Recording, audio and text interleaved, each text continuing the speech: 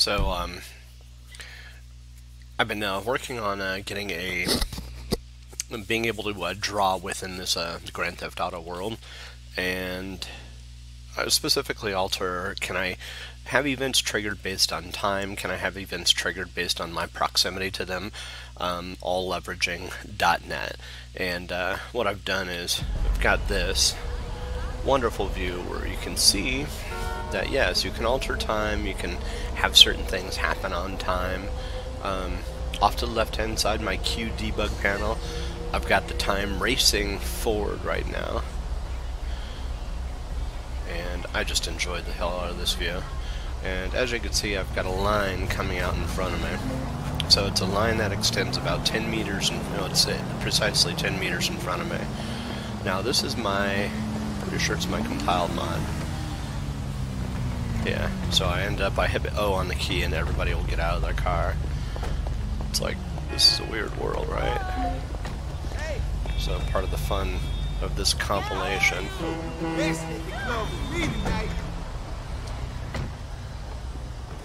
Can you imagine being in a world where all of a sudden some guy with a red line that extends out in front of them makes everybody want to get out of the car? And time starts accelerating really fast. Well, I shouldn't say time, the sun.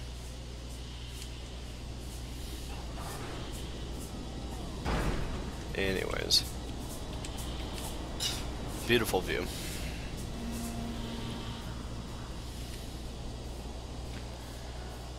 Look at it from other perspectives. There's the line. So if I point in a different direction, it goes with me. Don't fall. Again.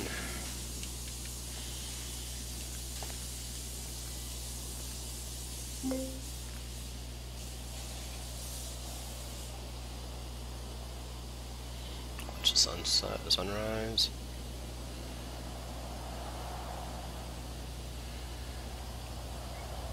Go to the tallest building over here.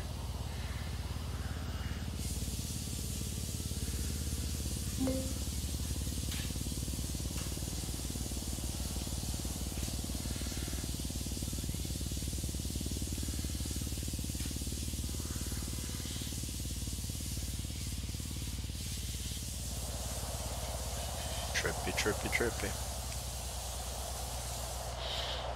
trippy.